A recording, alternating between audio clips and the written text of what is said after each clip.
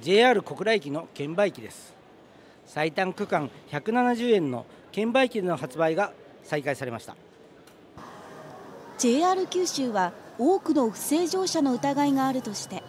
先月22日から小倉駅の券売機で170円切符の販売を取りやめていました。最短区間170円の切符を購入し遠方の無人駅で降りるという手口が多く発生しているということです。無人駅だとやっぱそういうのがいっぱいになっちゃうのかなと思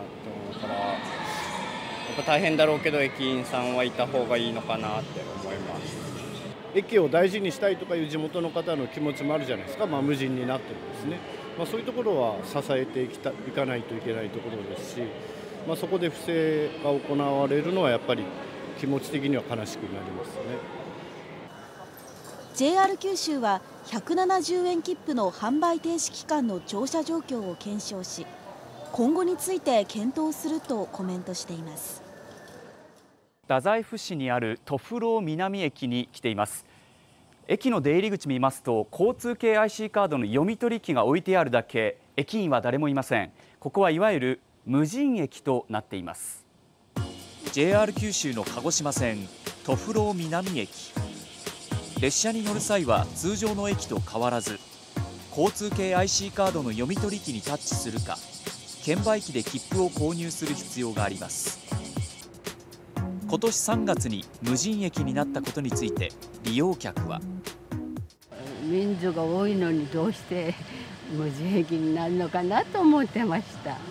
トイレなんかも汚いしね。買い方がわからないとかね。うんうんそういう方はいらっしゃるくいらした方が安心。切符なくした時とかは困ります、うん、直接駅員さんいないんで相談できないところが不正乗車も本当しやすい環境ではあるとは思うんでそこがちょっと心配ではあります、JR 九州では不正を防止するため駅の出入り口に監視カメラを設置しているほか利用者が困らないように緊急電話も用意しています。JR 九州管内では全体のおよそ6割が無人駅で今後も駅員の不足や自然災害の激甚化に伴う交通ネットワークの維持などを背景に無人駅の増加を見込んでいます。